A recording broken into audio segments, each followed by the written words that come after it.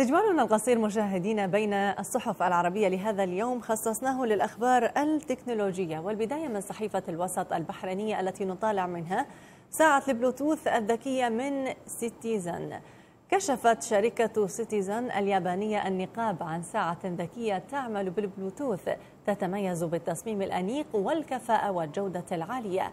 وتتسم ساعة البلوتوث الجديدة التي يتم إطلاقها رسميا نهاية صيف العام الجاري. بسهولة استخدامها مع ميزة إضافية هي الاتصال بالهاتف الذكي.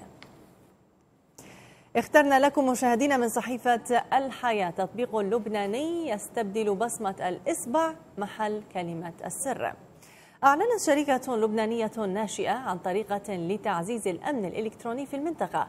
من خلال تطوير مدير لكلمة السر يسمح للمستخدمين باستبدال بصمة أحد الأصابع لتحل محل كلمة السر في هواتفهم المحمولة.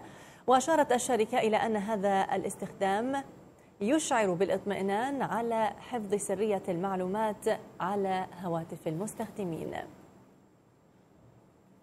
إلى صحيفة القدس العربي مشاهدينا التي عنونت بين صفحاتها شاشة حمراء بجالكسي اس 8 وسامسونج تعد بإصلاحها. اشتكى عدد قليل ممن حصلوا على هاتف سامسونج الأخير جالكسي اس 8 من تحول درجة اللون في شاشة الهاتف إلى الأحمر.